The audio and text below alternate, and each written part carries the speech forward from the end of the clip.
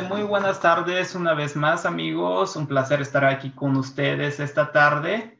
Y pues vamos a dar inicio con nuestra clase de, este, de esta tarde. Esta sería la segunda parte sobre el arte de emocionarte con aceites esenciales.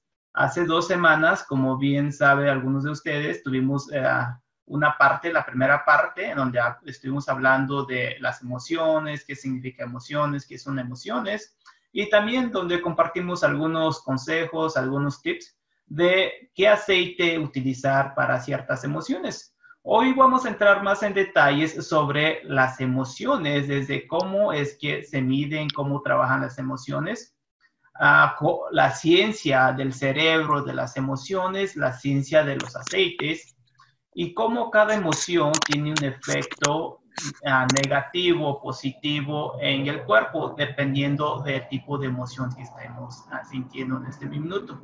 Para, ya sea que apenas van comenzando con los aceites o apenas van aprendiendo de, los, de las emociones o ya llevan tiempo usando los aceites o ya son maestros sobre las emociones, no hay problema. La información que le vamos a estar compartiendo el día de hoy es aún así información muy valiosa para las personas que apenas están comenzando y también para aquellas personas que ya son expertos y con, mucho conocimiento en este tema. El tema de las emociones es impresionante, es un tema súper, súper interesante con información muy valiosa de por qué a veces nos sentimos alegre, porque a veces nos sentimos enojado, pero muchas de las veces no sabemos por qué, ¿no? Y hoy vamos a estar hablando de eso y cómo la aromaterapia funciona y por qué la aromaterapia funciona y por qué es un método muy eficaz cuando se trata de manejar las emociones.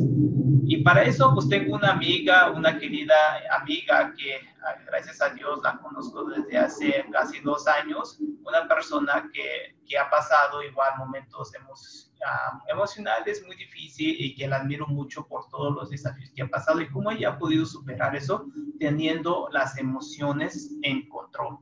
Así que quiero presentarle a mi queridísima amiga, socia, a Lilian Rochas, para que ella nos, nos empiece a hablar de todo este gran tema y compartirnos con su experiencia sobre todo lo de las emociones. Así que estoy súper contento por, tenerla a ella aquí con nosotros esta tarde.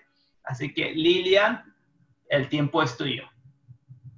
Hola, ¿qué tal? Buenas noches. Pues es un placer el poder estar nuevamente con ustedes y poder compartirles pues un poco de, de lo que yo he aprendido.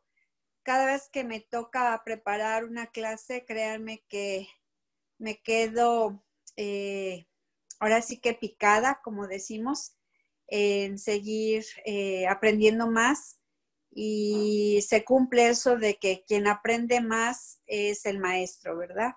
Entonces, este, es bien grato para mí el poder compartir lo que ya por casi dos años eh, tengo como parte de mi vida y pues es el uso de aceites esenciales y principalmente en las emociones, ¿verdad? Porque eh, todos, todos nosotros tenemos eh, desafíos en este, en este tiempo y creo que lo mejor que nosotros podemos hacer para poder tener ese control del que hablaba Tomás es aprender a reconocernos y poder empezar a desarrollar nuestra propia inteligencia emocional.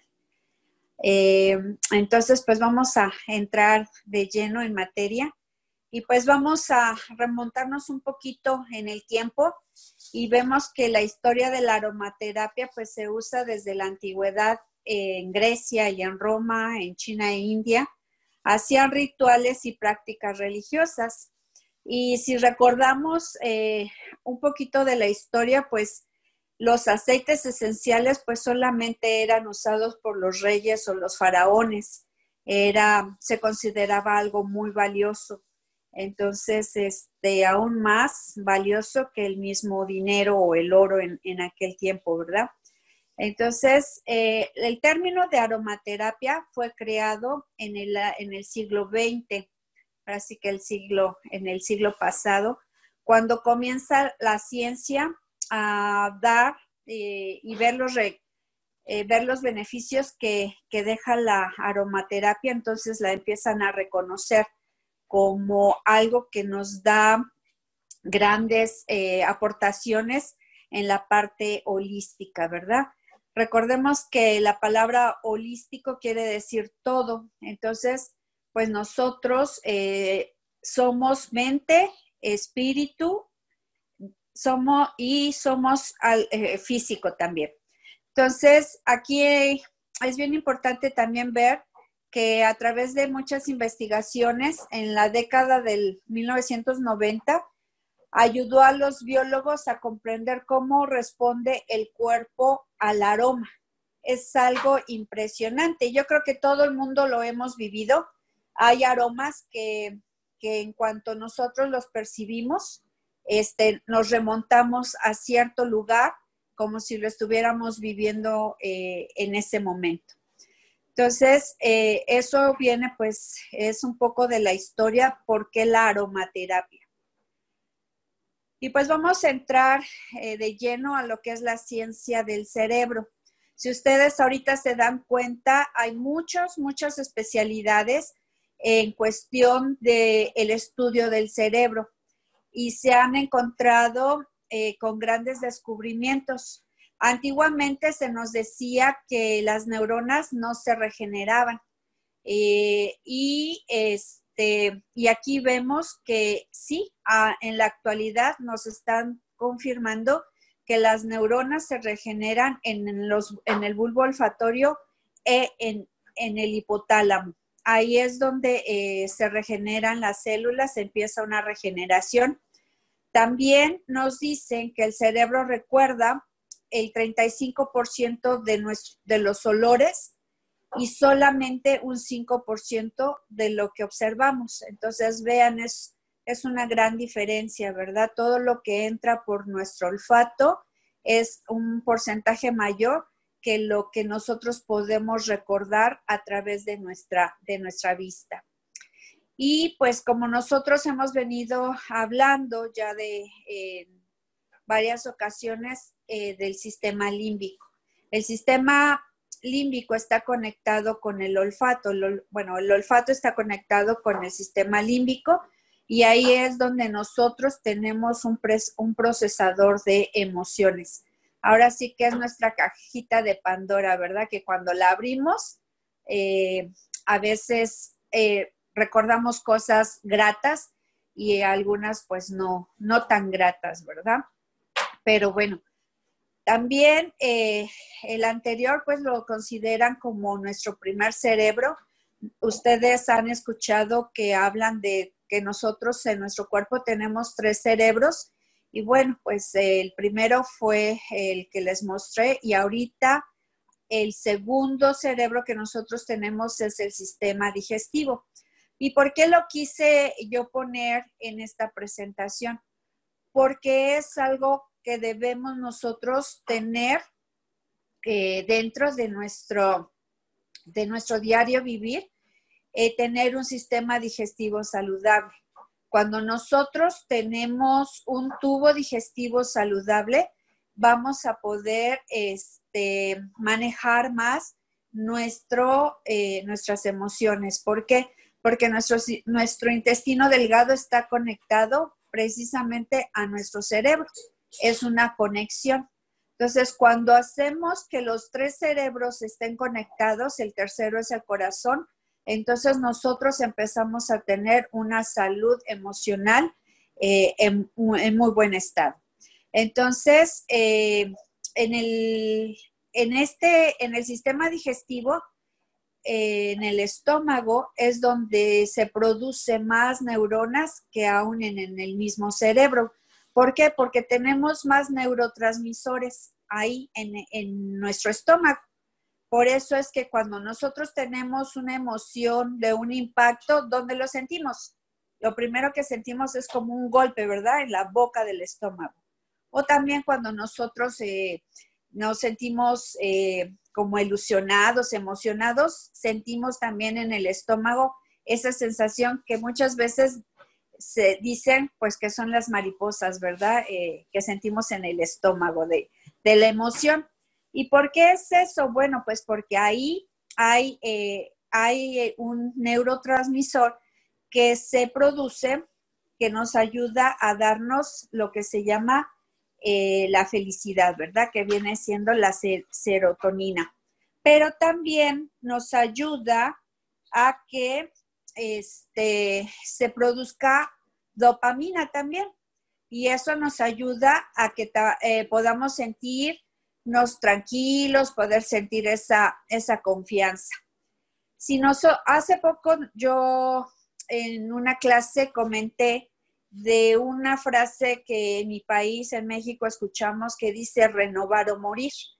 Y yo desde el momento en que entré a doTERRA he traído bien impregnada o tatuada esa frase porque nosotros tenemos que renovarnos día a día, ir con lo que va, va llegando a nuestro diario vivir para poder saber e ir evolucionando. No nos podemos quedar con lo que venimos aprendiendo en la antigüedad, sino que tenemos que ir con la misma eh, avance de la tecnología y todo lo que va evolucionando. Entonces, cuando nosotros nos renovamos, ¿sí? Eh, nos permite eh, convertir aquello que parece un problema sin solución en un gran desafío, ¿sí? Ya no lo vemos nosotros como problema, lo vamos a manejar como un desafío. ¿Y por qué como un desafío? Eh, si vemos, si nos regresamos un poquito en la diapositiva, Tomás, en el cerebro, el cerebro tiene dos modos de, reaccionar frente a esos retos. Ya no le vamos a llamar problemas, les vamos a llamar retos. Cuando estamos enfrente de esos retos, ¿sí? El cerebro solamente va a reaccionar de dos formas. Una, en el modo de supervivencia, que esto siempre es cuando estamos en peligro, por ejemplo, ante un depredador, ante algún algo que está, esté afectando nuestra vida. Entonces, ese es el de, eh, nos prepara el cerebro para que todo el cuerpo se, se, se concentre para poder tener esa adrenalina y ese, esa fuerza para poder salvar nuestra vida. Y el segundo es el modo de adaptación. Por ejemplo, cuando tenemos algún cambio, eh, estamos frente a algún cambio, por ejemplo, cuando cambiamos de un, de un estado a otro, que tenemos que cambiar de residencia o algo que tiene que ser diferente, ¿verdad? En nuestros trabajos, que tengamos que cambiar de nuestro trabajo, entonces ahí viene el modo de adaptación. Pero ¿qué pasa eh, cuando nosotros determinamos y decimos, ya me equivoqué, mi cerebro se equivocó, entonces empezamos a entrar como en pánico, a veces no sabemos qué vamos a, cómo vamos a actuar y solamente hay tres formas de que actúa eh, nuestro cerebro cuando está en estado de supervivencia, solamente de tres formas vamos a, poder actuar. Una es atacar, la segunda es huir y la tercera es quedarnos bloqueados, ¿sí?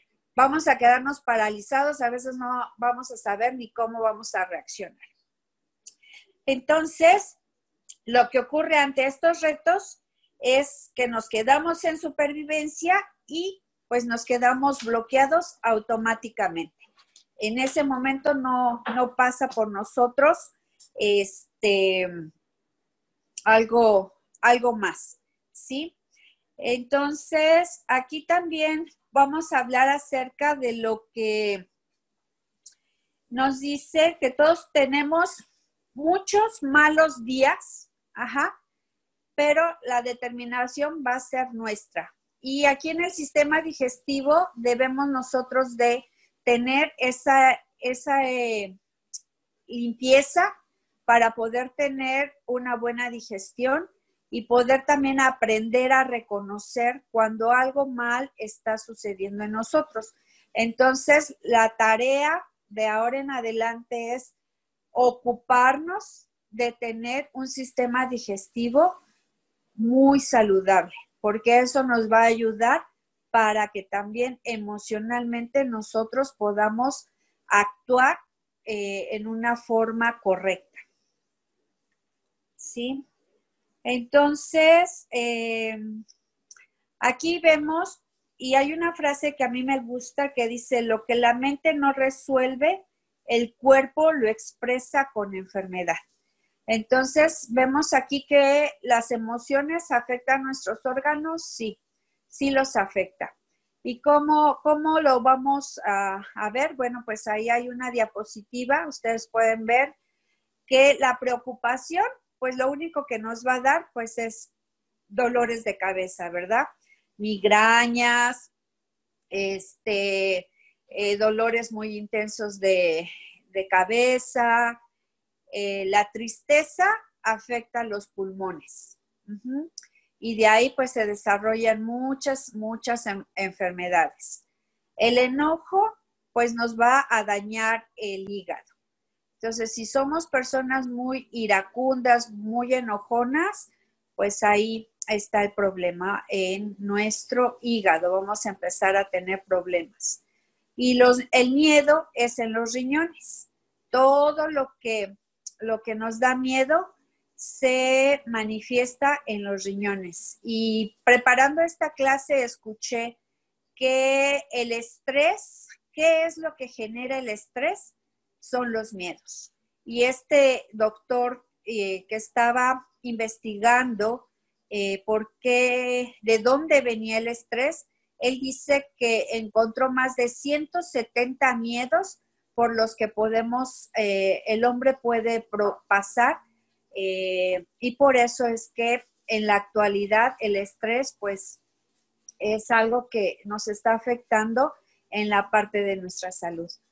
Entonces hay que tener cuidado con esos miedos para que no afectemos nuestros riñones. El estrés, pues como ahorita les estoy comentando, pues nos afecta a nuestro corazón, la angustia el estómago y también pues es eh, la frustración, pues viene siendo el páncreas. Entonces, cada una de estas emociones que nosotros conocemos como la ira, el enojo, este, la tristeza, la felicidad, cada, cada emoción tiene un, un este, una una vibración en nuestro cuerpo, tenemos vibración. Esa vibración eh, lo podemos medir en megahertz. Entonces, ahorita vamos a ver la siguiente diapositiva para que ustedes puedan comparar cómo es que, eh, qué es lo que sucede en nuestro, cuerpo. Algo de lo que es la ciencia detrás de la aromaterapia emocional pues ustedes saben que son eh, los aceites esenciales que nosotros estamos manejando. Esos aceites, eh, al momento de que nosotros lo inhalamos, en 19 o 23 segundos ya tenemos las moléculas llegando al cerebro, principalmente en la parte del sistema límbico, en los bulbos olfatorios, el hipotálamo, en el hipo campo, todas esas este, partes que tiene que ver con, eh, las emociones. Eh, dos minutos ya la vamos a tener en torrente sanguíneo y 20 minutos va a estar ya afectando a todas las células de nuestro cuerpo. O sea, imagínense 20 minutos, o sea, y tenemos muchísimas, o sea, tenemos millones y millones de células en nuestro cuerpo. Entonces, en 20 minutos ya está por todo nuestro torrente sanguíneo y nuestras células. Entonces, los aceites, igual que, los, que las enfermedades, eh, las podemos medir con los megahertz. Por ejemplo, un cuerpo sano, un cuerpo sano siempre va a tener una vibración eh, de 62 a 78 megahertz un resfriado, cuando tenemos un cuerpo resfriado, fíjense cuánto baja nuestra vibración, baja a 58 megahertz. Una persona que tiene cáncer ya tiene una vibración en su cuerpo de 42 megahertz y una persona que ya está eh, muriendo tiene una vibración de 25 megahertz. Ajá. Entonces, vemos eh, aquí en la parte de abajo que los, un aceite puro que nosotros tenemos, que es de 100% grado terapéutico, son aceites que oscilan entre los 52 a los 320 megahertz. Por eso es el impacto que tienen los aceites esenciales en nuestro cuerpo, porque podemos elevar esa vibración que nosotros tenemos. Cuando nosotros estamos vibrando en la parte negativa, en la parte de la tristeza, del enojo, de la ira, todo eso, lo único que estamos haciendo es quitándole al sistema inmune el poder para que pueda ser atacado por cualquier patógeno, virus, bacteria o el cuerpo empiece a generar, a gestar enfermedades crónico-degenerativas. Si nosotros miramos aquí en la pantalla, el aceite de frankincense o incienso tiene una frecuencia de 147 megahertz.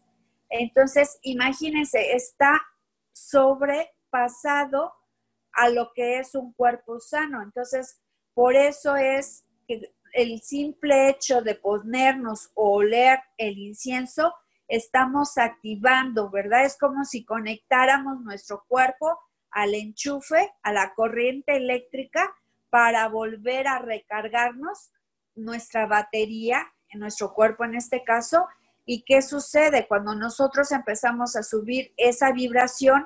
Entonces el cuerpo em, puede empezar a responder, a destruir cualquier eh, trastorno que el cuerpo esté, esté sufriendo, ¿verdad?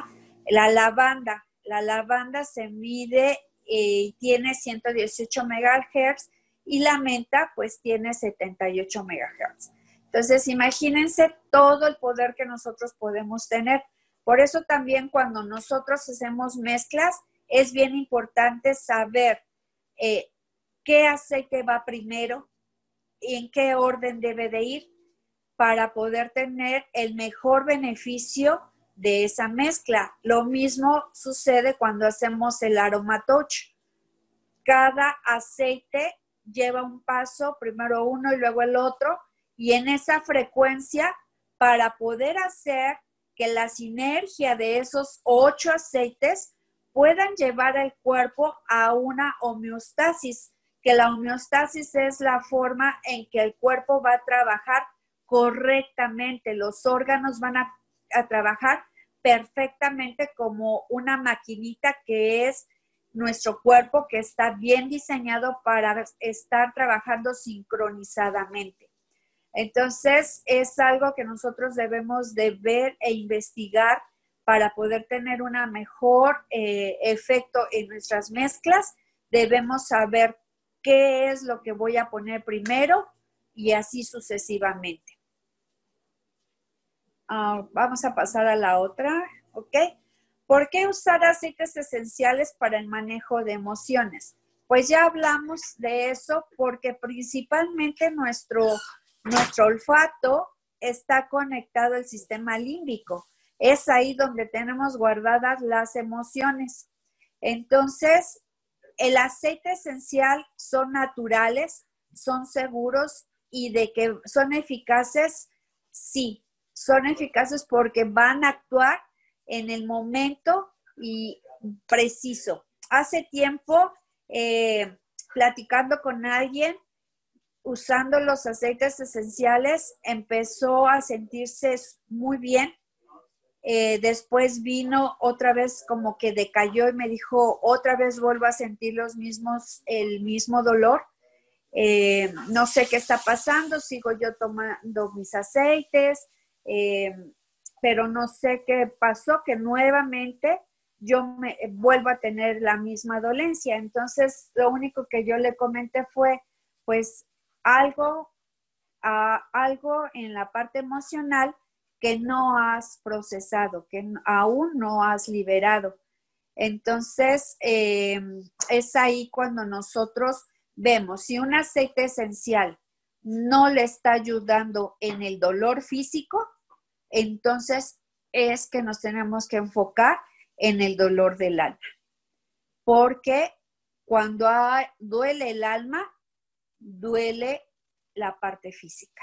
Entonces, tenemos que hacer eh, y, entender que la raíz de todo problema físico eh, inicia con una herida en el alma.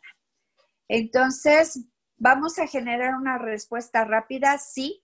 ¿Por qué? Por lo que ya les comenté en la diapositiva anterior, por el nivel de, de vibración que tienen los aceites, por la frecuencia que nos va a ayudar a elevar eh, eh, al grado positivo, no estar en vibraciones bajas. Y también es una forma simple y fácil de manejar las emociones. Vamos a ver eh, la que sigue. Pues nosotros sabemos que lo podemos aplicar aromáticamente, tópicamente y también lo podemos ingerir. Es una gran eh, bendición el que un solo ah, aceite tú lo puedas usar en estas tres formas para poderlo tener eh, con mayor beneficio, ¿verdad? Este, tengamos cuidado de los aceites que nosotros elegimos.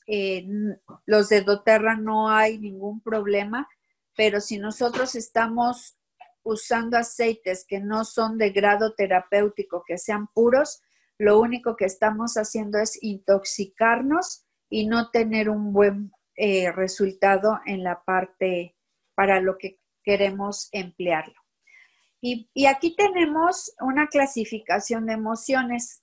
Quisimos ponerles esta diapositiva porque hace dos semanas yo les comentaba que en nuestro lenguaje, en español, tenemos más de 3.000 eh, palabras que, con las cuales podemos describir emociones, pero solamente eh, nos decía ahí eh, la persona que escuché, decía que dos veces de, de esas 3.000, o sea, 2.000 palabras eran usadas para las cosas negativas y solamente mil las usábamos para las emociones positivas.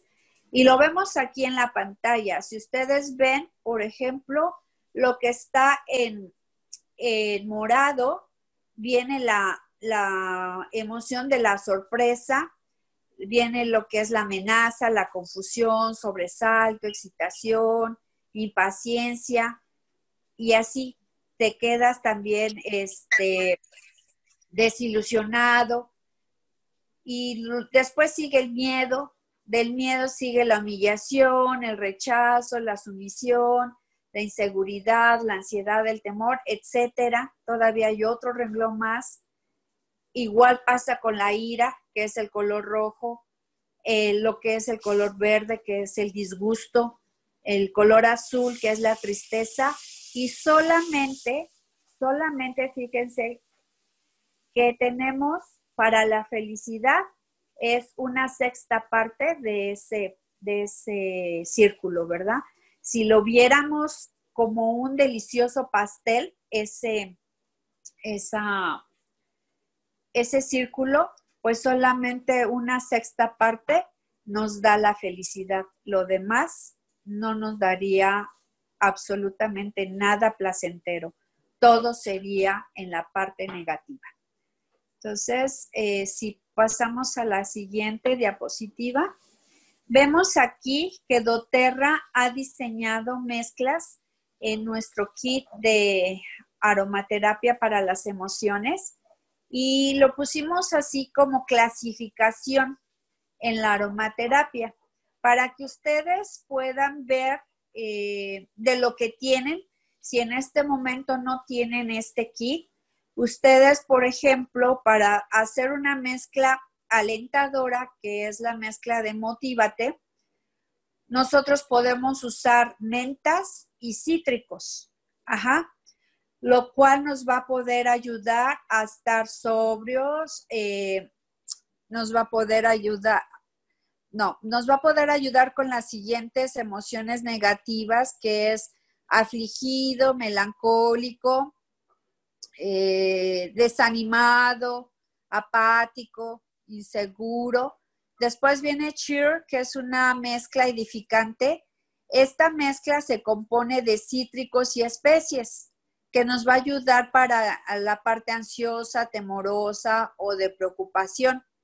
Y la pasión también es, se combina con especies y hierbas y céspedes, que viene siendo la mezcla de pasión, que es una mezcla inspiradora que nos va a ayudar con la tristeza, eh, la parte de luto, la herida, las preocupaciones.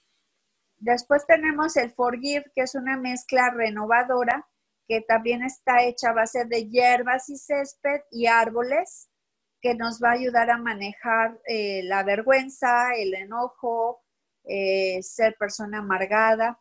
El consol es una mezcla eh, que, nos, como dice la, su nombre, nos da consuelo y está hecha acerca de árboles y flores y entonces también nos va a ayudar con el descontento, con el aburrimiento, con el, el desinterés y la parte de la paz, de la paz, que es una mezcla reconfortante, está elaborada de flores y menta. Entonces, ven, pues ahí ya completamos el círculo para trabajar algunas de las eh, emociones negativas, ¿verdad? Y pues aquí tenemos nuestro kit, es el kit de los aceites de 5 mililitros. Este kit viene es el aceite concentrado. Y también tenemos otro que es el que viene en, en touch, que ya viene rebajado con aceite de, coco. Y vamos a hablar un poquito aquí de lo que es la mezcla de Motívate. Eh, como les decía ah, en la diapositiva anterior, pues ahí tenemos la menta y tenemos cítricos como la clementina, eh, que ahora fue nuestro regalo de este mes de eh, producto gratis, la clementina. También viene el cilantro, la albahaca y la melisa. Esto nos ayuda a promover sentimientos de confianza, coraje y creencia. Se puede usar este, cuando necesites la confianza o contrarreste los sentimientos de duda. Lo puedes aplicar en el cuello y atrás de las orejas. Y es uno de mis favoritos, es el, que yo eh, uso. Vemos ahora la mezcla edificante que es el cheer. Y también está ahí la naranja. Ustedes saben que la naranja es un aceite que nos ayuda a levantar el ánimo. El clavo, la nuez moscada, la vainilla, el jengibre y la canela. Esto nos va a ayudar a promover sentimientos cálidos, estimulantes, nos ayuda para alegrar, vigorizar nuestro estado de ánimo. Lo podemos este, usar cuando necesitemos ser personas optimistas o con más alegría. Y esto se puede difundir de tres a cinco gotitas o podemos también aplicarlo en un difusor eh, de collarcito que nosotros traigamos este, cerca para poder estar teniendo el beneficio. Ah, dice aquí que la mezcla de la pasión es una mezcla inspiradora y sus ingredientes que tiene es el cardamomo, canela, clavo, jazmín, sándalo y vainilla. Y esta pasión nos va a ayudar a promover sentimientos rejuvenecedores, fíjense, eh, e inspiradores, al tiempo que ayuda a disipar el aburrimiento o la falta de propósito. ¿sí? Si nosotros ya no tenemos esa pasión por lo que estamos haciendo, aquí este aceite nos va a ayudar para poder eh, despertar nuevamente el interés de poder hacer las cosas apasionadamente.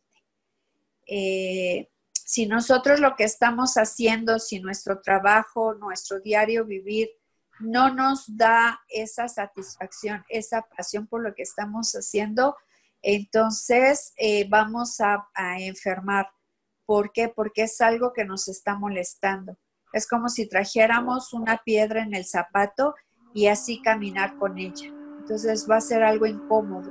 Y nosotros queremos realmente sentir pasión por lo que estamos haciendo, pues apliquemos unas gotitas de, de este aceite, de esta mezcla, directamente en nuestro corazón para poder abrir esa pasión.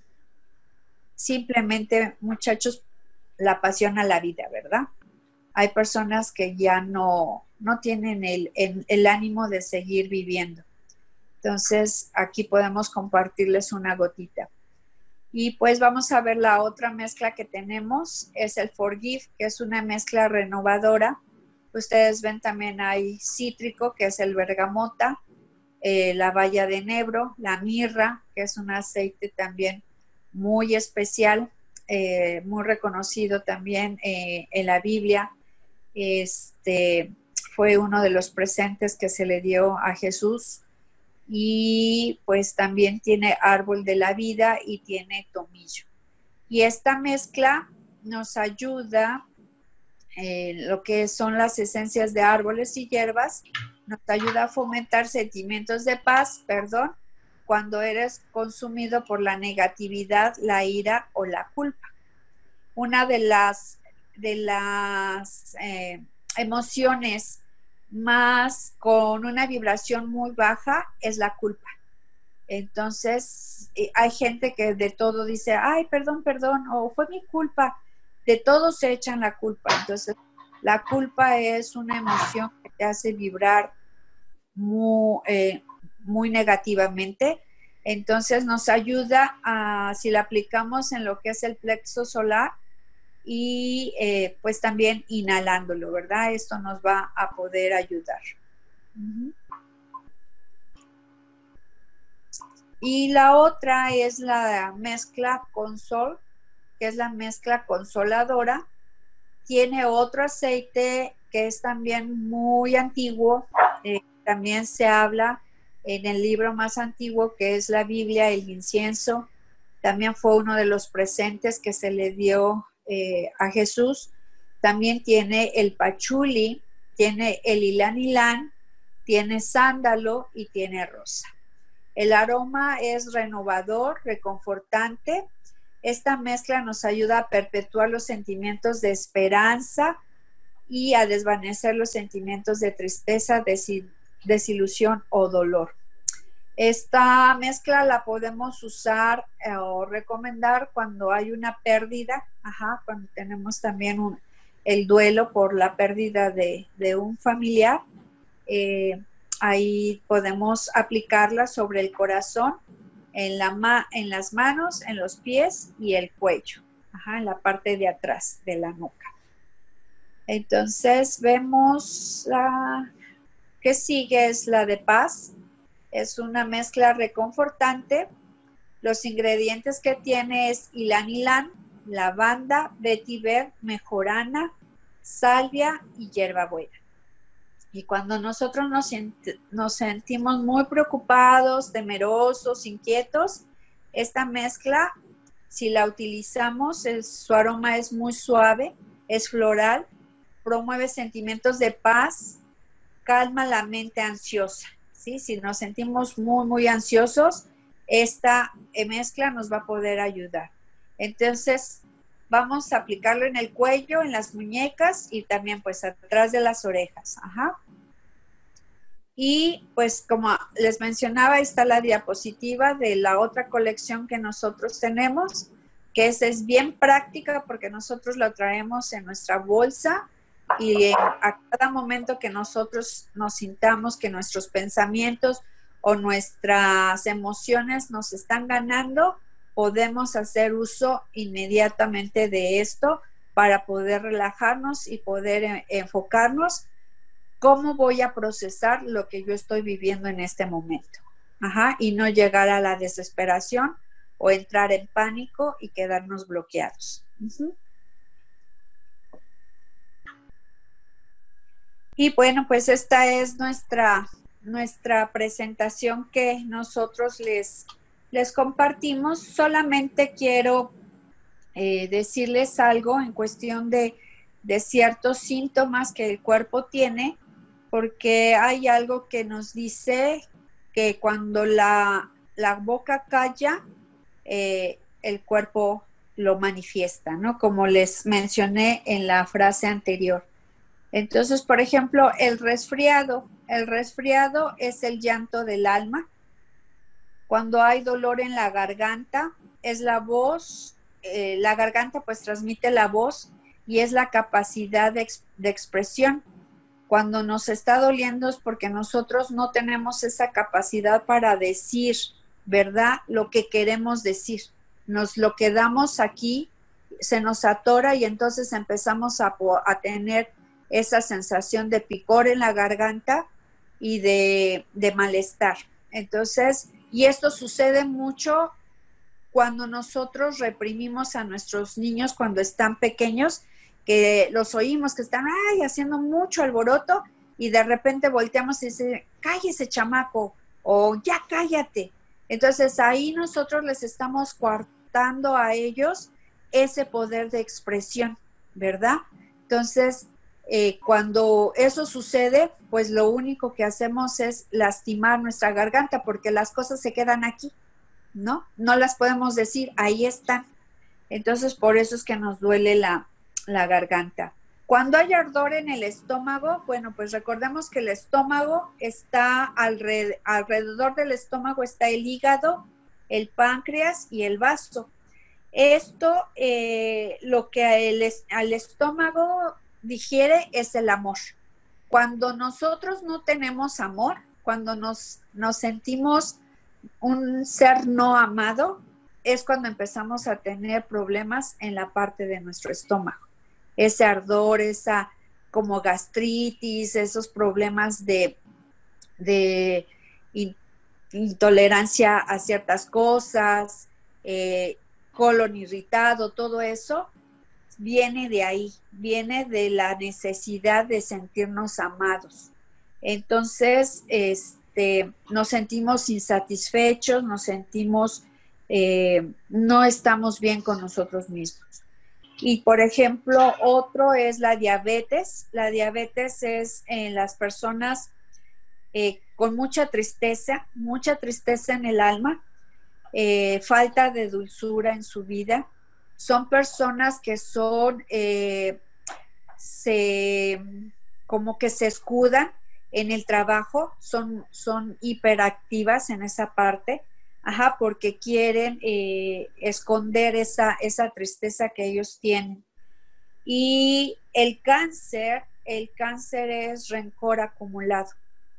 Cuando somos personas muy rencorosas o vamos a, desarrollar eh, enfermedad eh, llamada cáncer.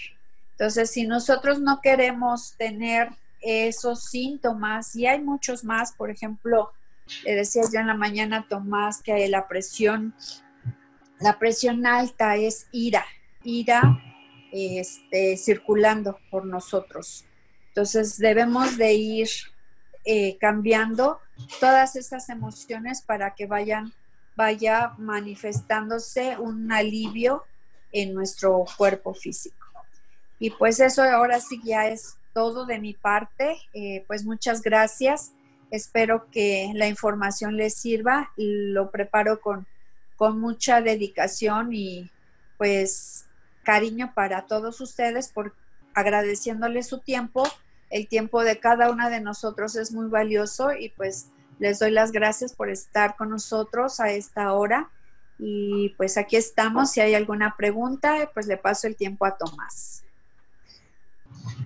Lidia, muchas, muchas gracias por compartir todo ese conocimiento con nosotros.